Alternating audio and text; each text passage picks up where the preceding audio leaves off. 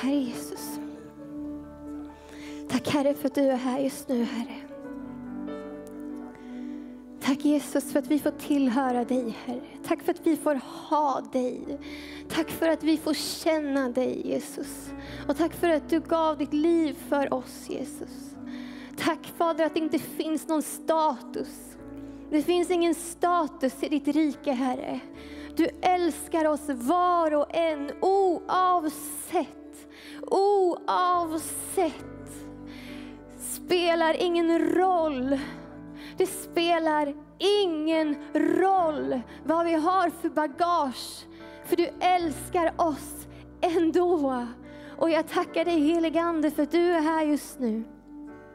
Rör vid våra hjärtan idag Herre. Heligande rör vid våra hjärtan idag. Rör vid våra hjärtan idag. Jag tackar dig för ditt ord, Herre, som är skarpt, Herre. Tack för ditt ord, Herre, som tränger igenom. Tack för ditt ord som kan avslöja fiendens lögner. Lögner som håller oss fångna, lögner som håller oss begränsade. Jag tackar dig för ditt ord, Herre. Ditt ord är fullt av liv. Jag tackar dig för ditt liv, Herre. Ditt liv talas ut ikväll, Herre. Jag tackar dig för det. Tack Herre för att du ruvar under, över den här platsen Herre. Och Jesus du går vid bänkraderna och rör vid människor. Rör vid människor. I Jesu Kristi namn. I Jesu Kristi namn.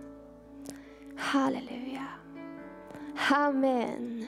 Amen, amen, amen, amen, amen. Ska vi bara ropa tacksamhetsvrål till Jesus? Woo!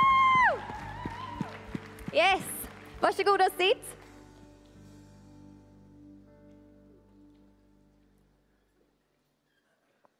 Oj, jag är så torr.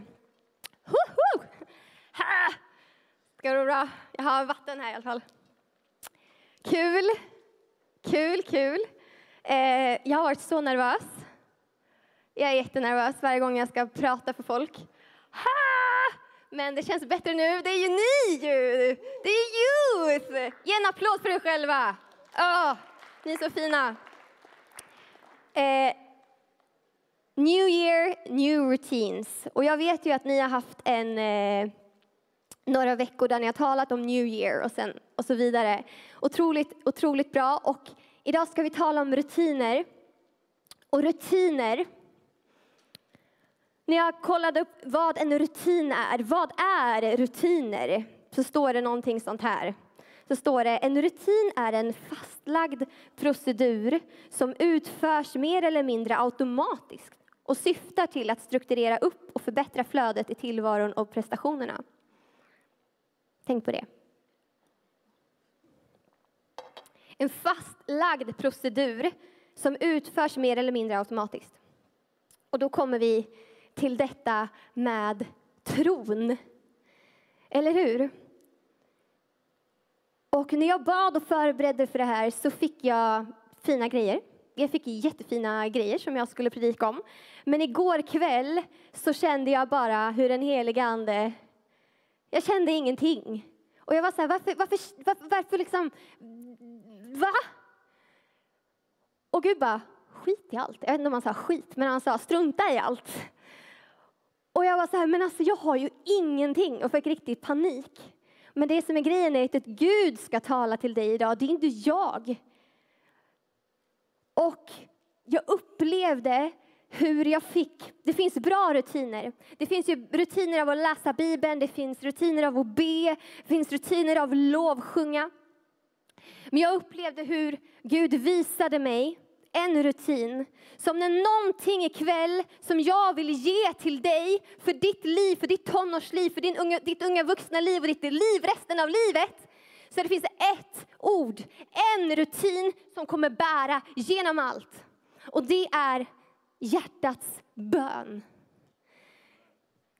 Livet kommer, du möter faser i livet där rutiner för tron kommer att vara svåra att bibehålla. Att borsta tänderna är ganska enkelt. Att tvätta håret make sense. För till slut så är det så fett så att det är inte det är inte klokt.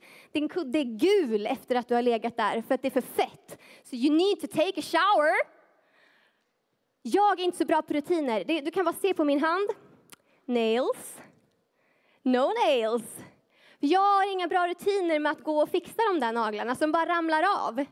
Sådana där rutiner som inte riktigt går så bra alltid. Och när det kommer till tron så har jag märkt efter mitt snart 31-åriga liv, för jag fyller år nästa fredag.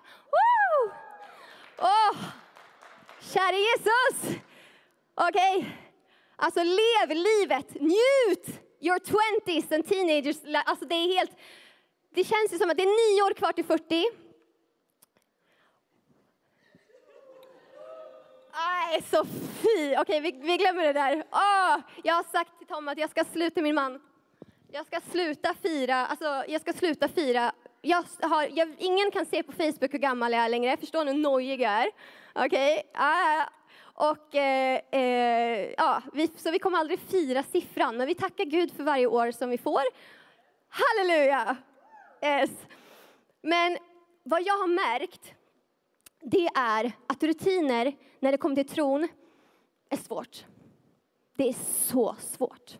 Och det finns inget enkel, en enkel tresteg eller tiostegsmetod på att så här får in en bra rutin. Och det finns säkert predikanter och preachers som hade kunnat stå här istället för mig och berätta deras hemliga tekniker.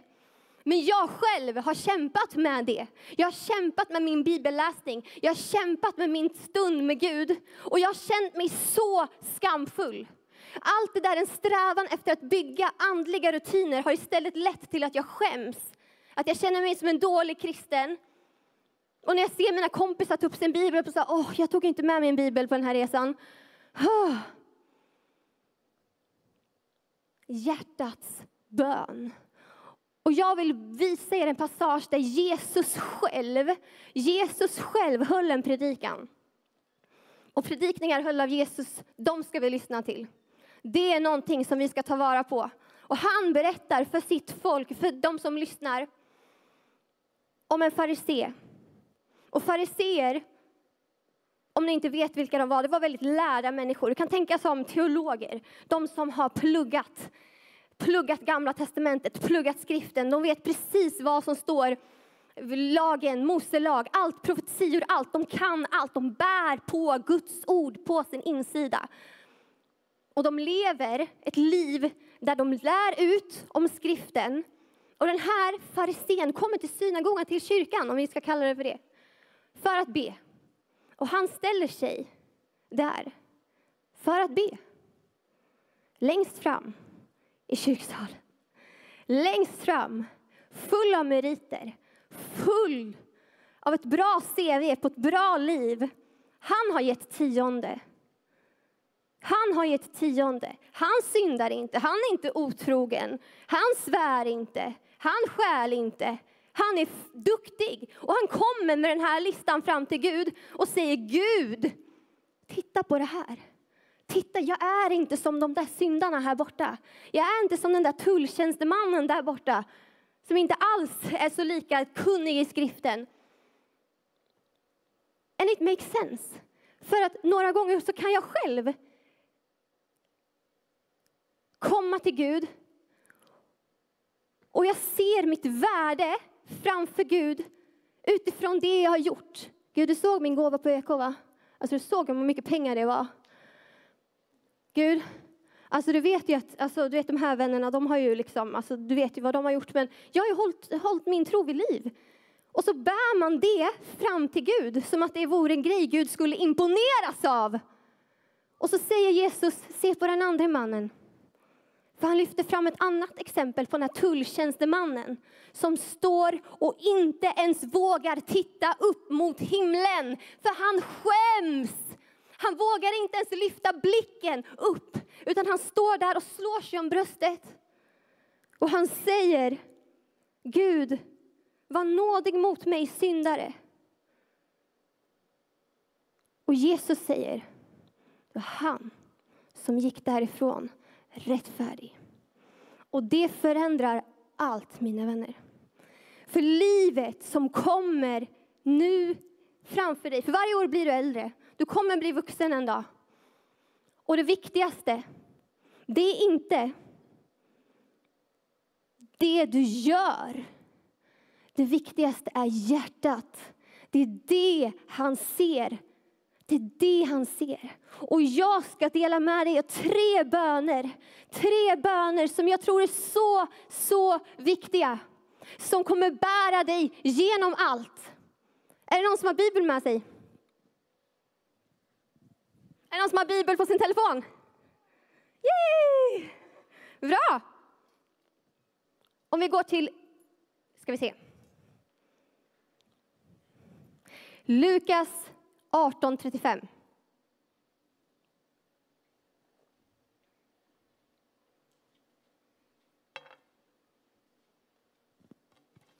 Gå med den här. Jag börjar läsa.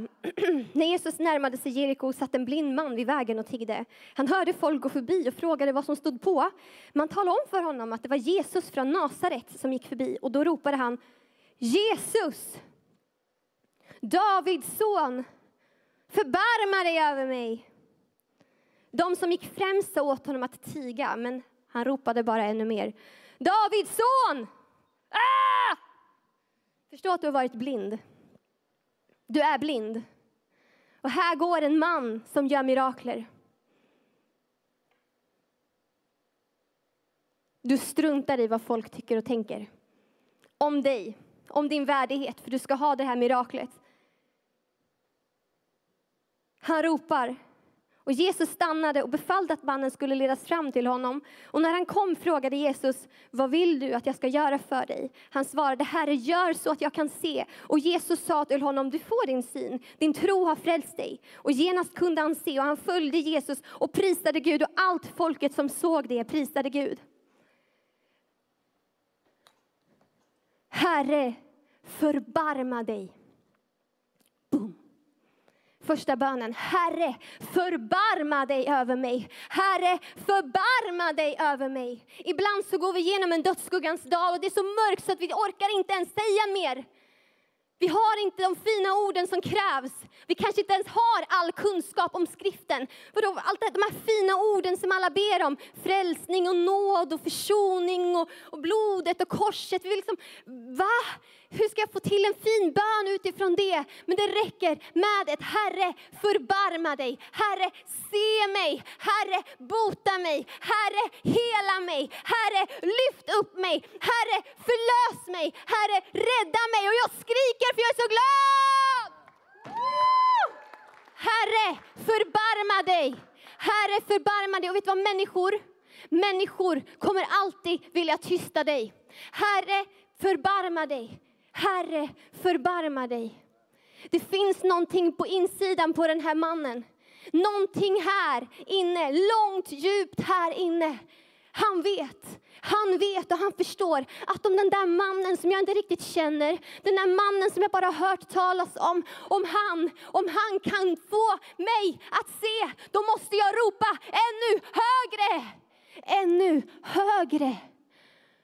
Och i våra liv Ibland är ångesten så tung. Depressionen är så mörk. Självmordstankarna är allt du har. Sorgen är allt du har. Sjukdom kanske är allt du ser. Och då, ett litet rop på Gud, Herre, se mig. Herre, förbarma dig. För Jesus, han hör och han ser. Och han ser ditt hjärta och han ser din längtan. Och jag tror att Gud vill skapa i oss ett hjärta som vill ha mer, som vill ha en beröring. Om det är någonting vi ska göra genom hela våra liv, det är aldrig förlora ödmjukheten, aldrig förlora positionen och den platsen vi behöver för att vara vid Gud, att vi aldrig blir för högmodiga, att vi aldrig når dit att jag kan så mycket redan Gud. Jag vet ju allt om dig Gud, jag har ju fått uppleva allt med dig Gud. Herre, förbarma dig. Herre, förbarma dig. Jag vet inte hur många gånger jag har bett den bönen när jag själv inte mådde bra. Jag hade torgskräck som tonåring. När jag kommer till Stora torget i Uppsala, hela min kropp är som en geléklump. Jag kan inte gå utan att känna mig konstig i kroppen. Jag kan inte kontrollera min kropp, för jag har torgskräck. Jag kan inte bete mig naturligt bland människor, för det känns som att alla ser mig och alla skrattar åt mig och alla hatar på mig. Det var känslan. Så jag var tvungen att stå, när jag stod inne på Åhléns och skulle gå över Stora torget, för att kunna ens klara av att gå utan att liksom så här, gå konstigt, så var jag tvungen att bara så här, Victoria, du är en kändis. Du är en celebrity, du är en eh, kronprinsessa, du är en... Alltså peppa mig själv att säga du är någonting. För att här inne kunna göra så att kroppen lyder och beter sig någorlunda okej. Okay.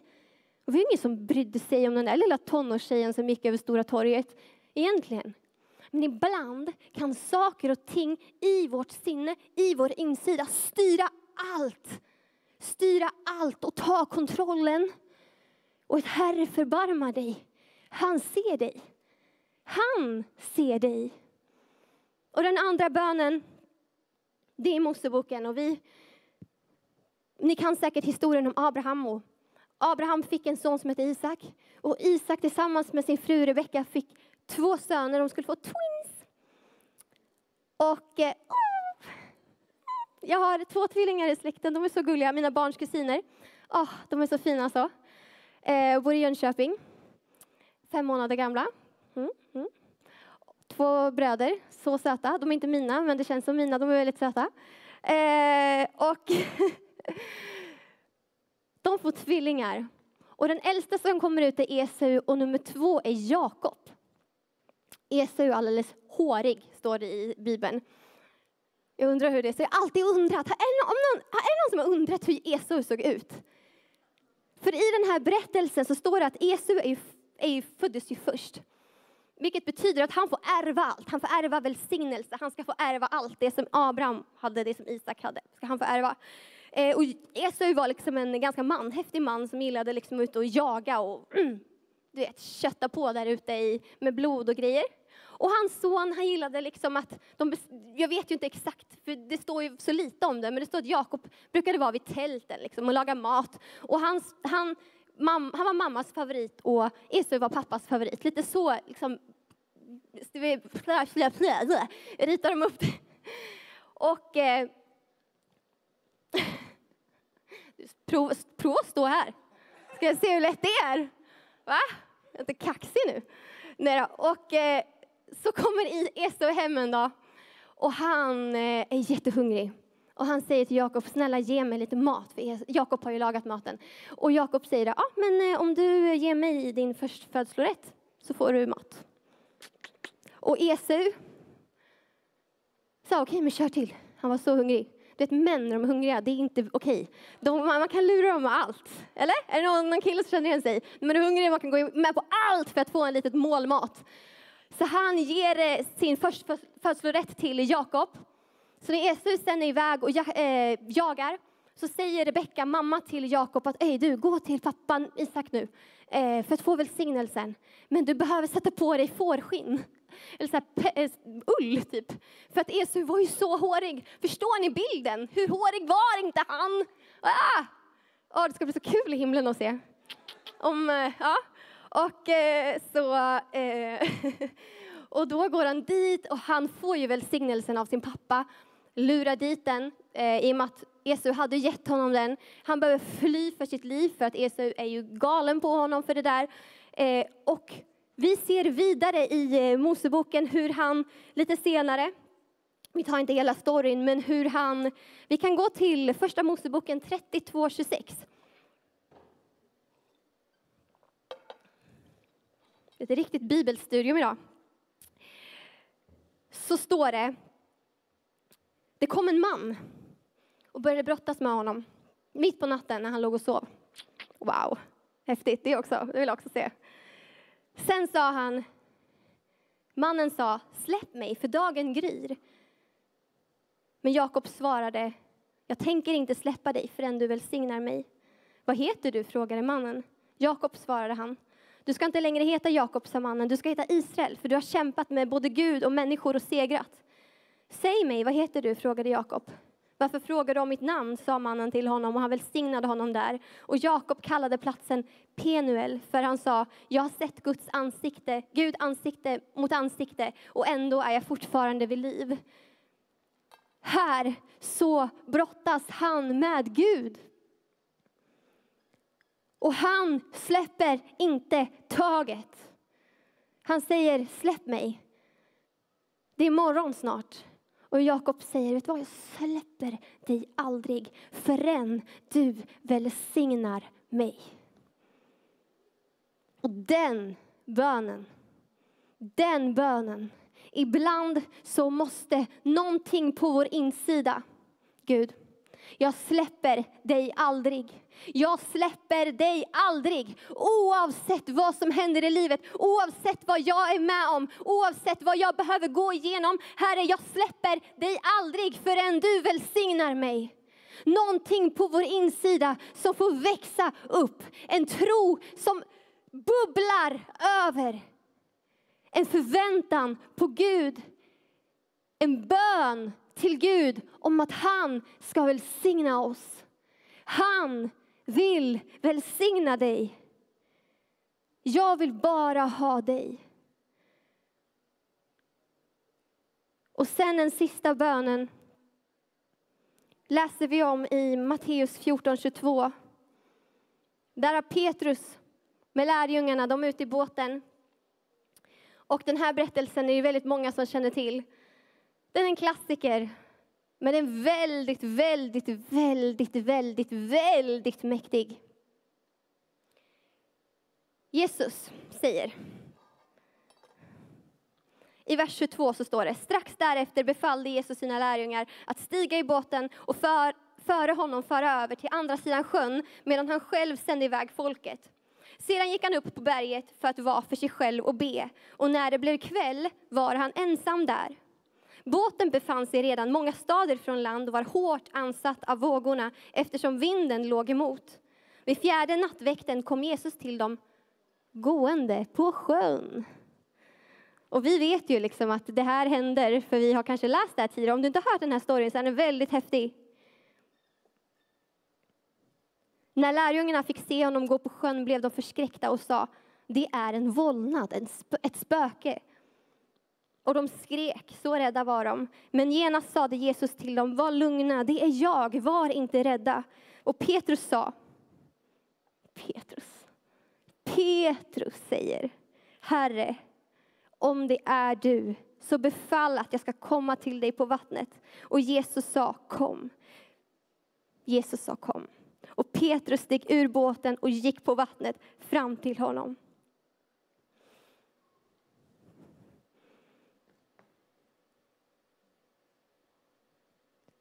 Bönen, den tredje bönen. Jesus, om det är du, befall att jag ska komma ut till dig på vattnet.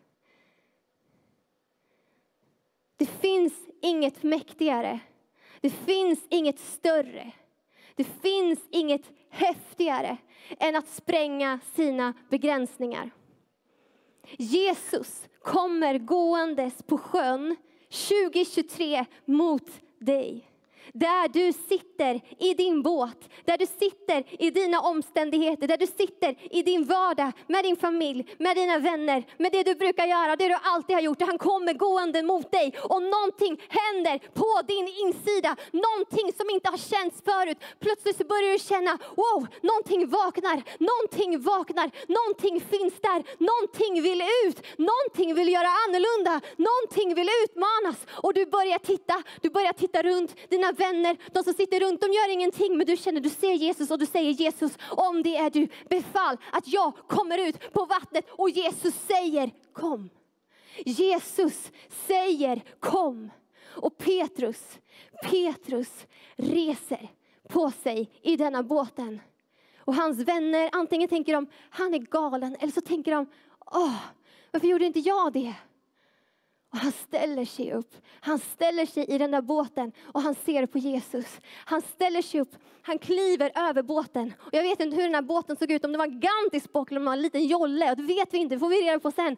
Men han kliver i alla fall ut ur den där båten och han går på vattnet mot Jesus. Och Jesus kallar dig. Han kommer gåendes mot dig det här året. Och han vill utmana dig. Han vill utmana dina begränsningar. Det som du har levt i tidigare, det som du alltid har gjort. Slentrian, där det känns skönt, det är så tryggt. Men vet du vad, när vi ber en bön, Herre förbarma dig, Herre förbarma dig, Herre se mig. Och när vi ber en bön, Herre Jesus Kristus, jag släpper dig aldrig förrän du välsignar dig. Och plötsligt på insidan börjar tro att växa. Plötsligt på insidan börjar någonting ropa, någonting säger jag vill ut, jag vill mer, jag vill ha mer av dig. Och vet du vad som händer då? Du kan gå på vatten! Du börjar gå, du börjar gå och du har aldrig gjort det tidigare och du går och du går. Men så säger de, men vet du vad, Petrus sjönk ju.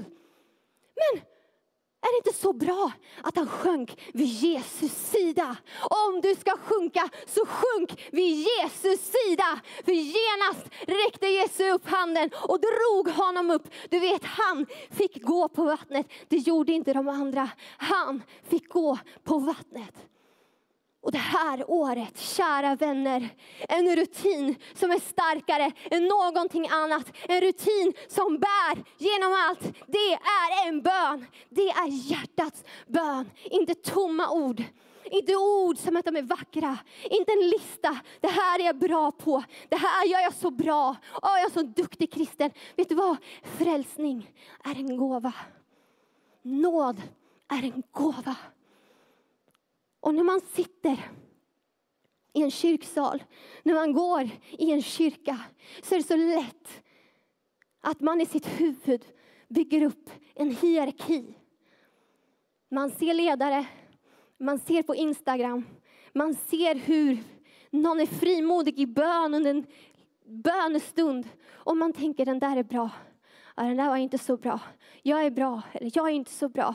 Och så säger man att det här det här gör mig förtjänt eller icke förtjänt av Guds kärlek, av Guds uppmärksamhet. Men det är lögn. Jesus själv sa det.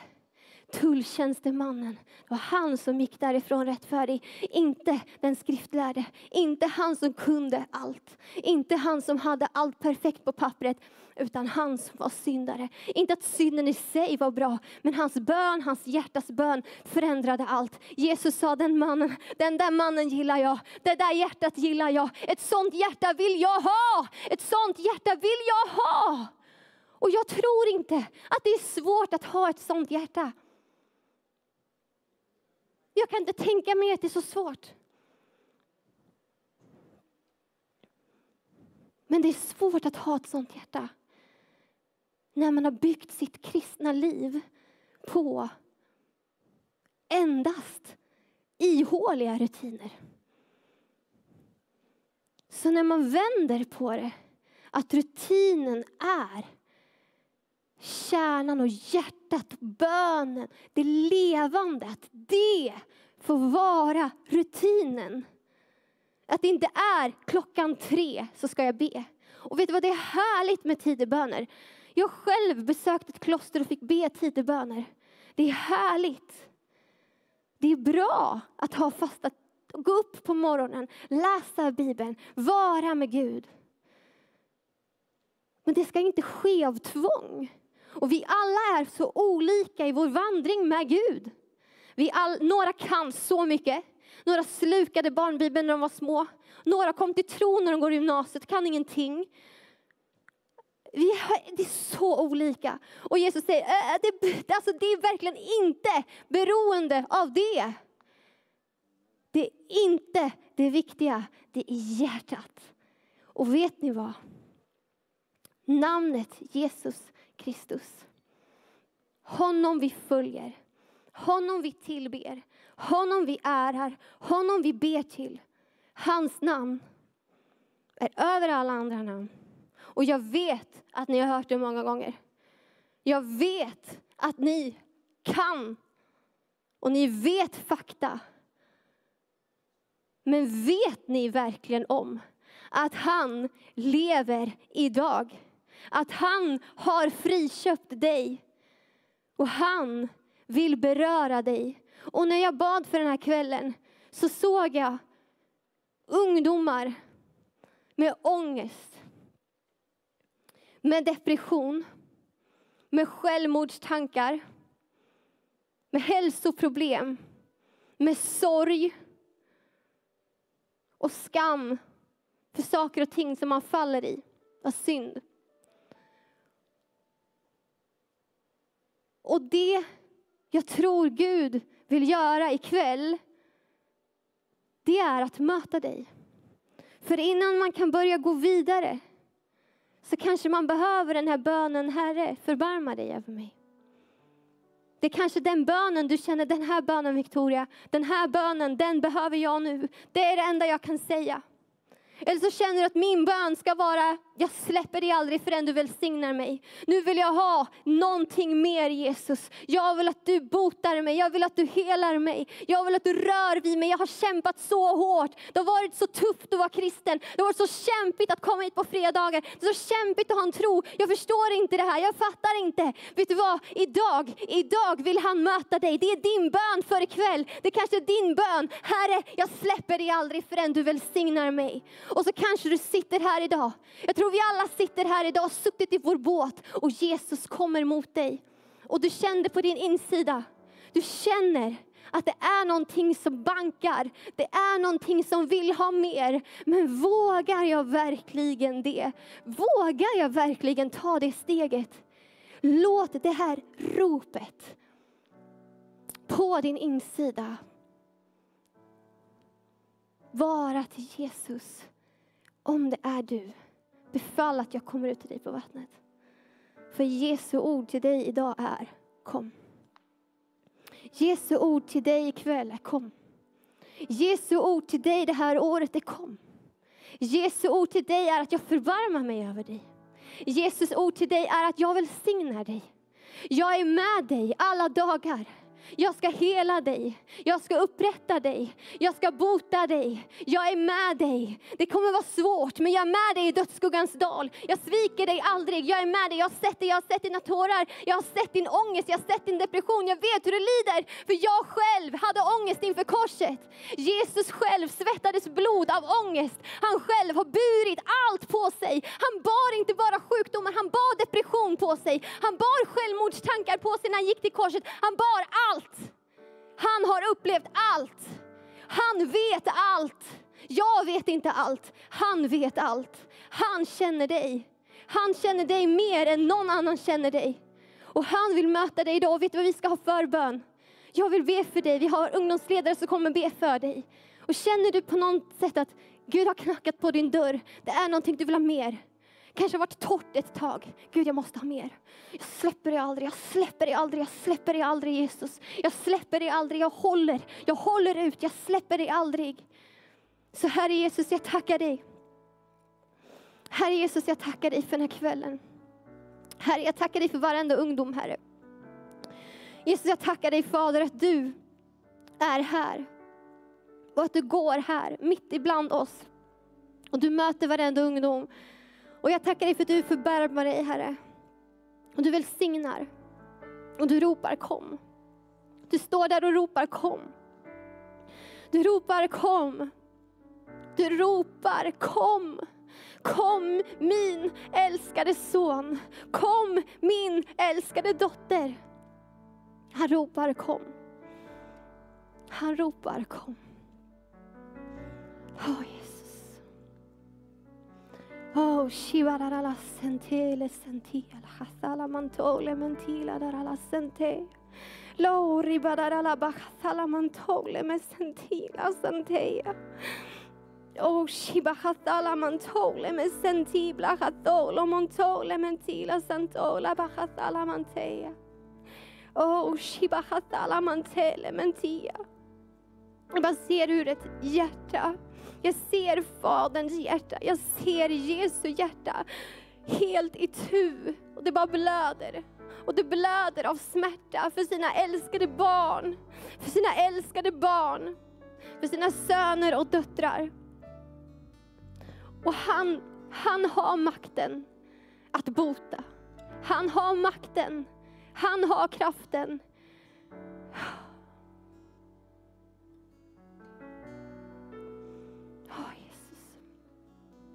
Oh, Åh Jesus. Oh, Herre. Mm.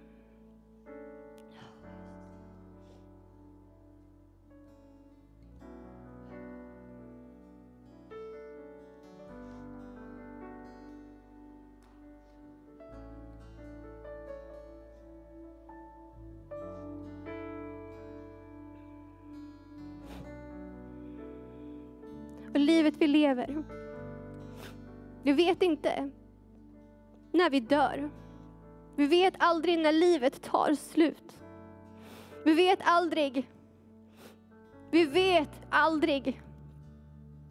Och ett beslut, ett beslut att följa dig, Ett beslut att följa Jesus. Det kanske kostar och det kanske svider, men det är en vinst i evigheternas evighet, för vi ska få vara med Jesus Kristus. Det kostar att ge upp, det kostar att lämna allt och följa honom. Det kostar allt, men det är värt allt. Det är värt allt. Och genom livet, genom livet, det livet som vi kommer leva, så kommer det vara motgång och det kommer vara medgång. Det kommer vara dödsskuggans dal och det kommer vara bergstoppar och ängar. Men med Jesus i handen, med Jesus på insidan, så kan vi möta allt genom hans nåd. Ah, så nu när vi tar upp en lovsång så är det bara att komma fram Kom fram, bara kom. Om du är osäker, ska jag komma? Ja men bara kom, kom, Herren är här. Han vill möta dig, han vill bota dig, han vill befria dig. Så vi kan bara ställa oss upp där vi sitter, vi bara ställer oss upp. Så är du välkommen fram.